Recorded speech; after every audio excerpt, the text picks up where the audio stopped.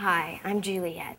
Gary Oldman directed a music video for a Jewish hip hop band, which he shot entirely on cell phones. He asked me to direct the making of, and when I saw the footage that I'd gotten, I realized I had a unique perspective into Gary's creative process. I approached him and asked if it could develop into a short documentary film. In these interviews, I'm talking to other artists who I admire about their creative process, and like Take Flight, hopefully shedding some light and showing them a little bit differently than they've been seeing. All right, so, Don't touch me. oh, okay. So, You can touch me. That was right there. so. Are we jumping right back into the interview? We We're are, pretending we're just yes, talk we are. this? This is haven't you made? Do we actually- Have you made movies before, or interviews, or or?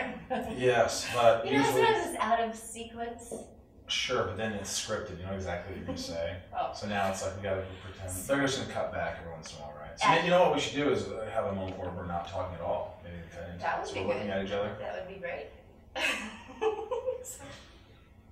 Can't do it though. Look away, baby, look away. That was Chicago, '86. No, we could use it like after you say something funny. Oh yeah, sorry. And then I was pulling shards of Waterford out of my ass. But that was funny. No. Okay. So, Tell me a little bit about your process. How did you become an actor? Uh, let's say I didn't have a ton of friends, and my parents used to go out on the weekends, leaving me with my young brother to babysit. So all I had was SNL, Saturday Night Live. And they would come home at one, and they'd say, "Tell us what happened. Reenact the whole thing." So I go, "Well." Fernando was like, "You look absolutely marvelous," and I and then they go, "Tell us about Hans and Franz." I was like, you know, and I started through the Hans and Franz impression and, and the Robin Leach and the, and they just started laughing. I was, I always I felt the need to entertain everyone, whether it was at the dinner table. I don't know if you want to put this in there, but I remember everybody's eating at Thanksgiving, and they're like, "Where's Michael? Where's Michael?" My little brother's giggling, and he looks up, and they had a, you know, sunroof or whatever, and there was my naked little nine-year-old bottom just mooning everyone at the dinner table. Very festive. What's the project that you've worked on that you felt was the most like a kid playing? you know, Sorority Boys. There's this movie. It's kind of a cult movie that um, where I was in drag, which is amazing. I was in drag in another movie where I actually played a transvestite in Sweet November. Oh, But I had to take that seriously because it was, you know, an intense role. It was real. So I actually went to, you know, gay bars and things like that, and really places where transvestites hung out, and that was something else. Was it? Yeah, it was one of the things where I felt most creative. The director, Pat O'Connor, directed like Circle of Friends. He he would say, "Michael, I want you to um, just do anything that comes natural for you, and we'll see what happens." And so, in rehearsal, we do the scene with me and Keanu Reeves and Charlize Theron and Jason Isaacs, and we start to do the scene. And afterwards, it, the crew's laughing, and he goes, "Great, I want you to go." Uh, the sound guy recorded all of it, so go over to him and write down everything you said, and we're going to film that. Wow. So I felt that was great. That was a creative Yeah. moment where you could just really run with things. Take Flight shows Gary in a way that he hasn't been seen before. Right. What do you think is the biggest misconception about you?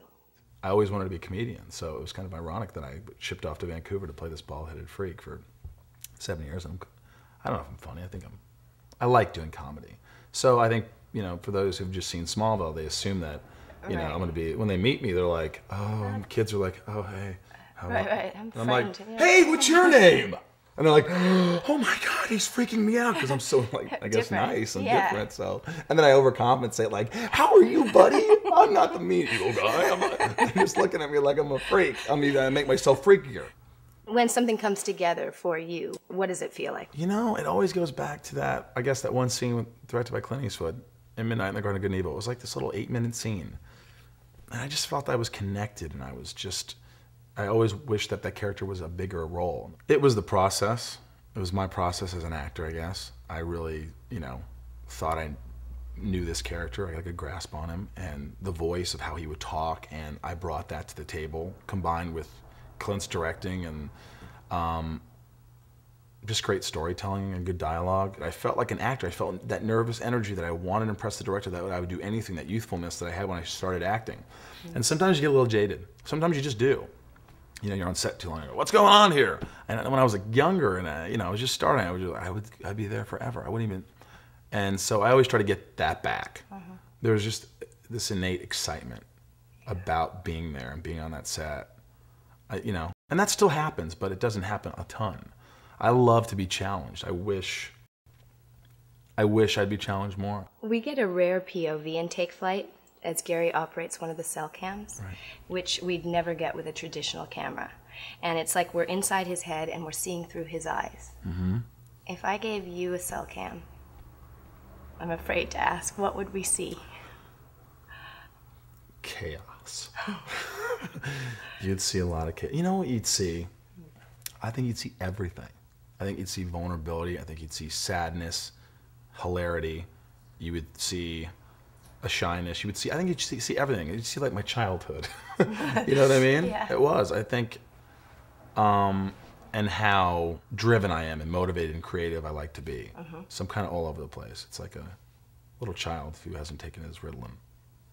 I have a film, and it's about Gary Oldman. One of my favorite actors, you know that. He's my favorite actor of all time. I do you know that? do know that, Do yeah. Because we've talked, but and I have to make it sound like this is just happening on Oh, film. so I have to say, I didn't know that. Right. Really? Yes. Wow, but he's amazing, so that's great. Yeah. When I was in college, I had this long hair, and people say, "You kind of look like that actor Gary Oldman." I go, "Oh, really?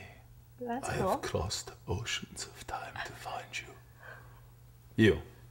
I just made that up. Wow. No, I'm that was in- Mina. that was from Dracula. I Mina. know. I figured it Mina, out. I love you too much. I loved him. He's so intense. All right, but back to my question. Back to your question. I had to jump into that. You know that. I have this film, and it's about Gary Oldman and Jewish hip hop and cell phones. How do you think that I should market this? So there was this, the voiceover for the, all those movies back. This summer, no creature. You know, go see Jaws. Coming this, I would do it something like that because really brings audiences in. so I would do something like, the most legendary actor of all our time, Gary Oldman, directs a Jewish hip hop music video on a cell phone. This summer, Juliet Landau brings us Take Flight.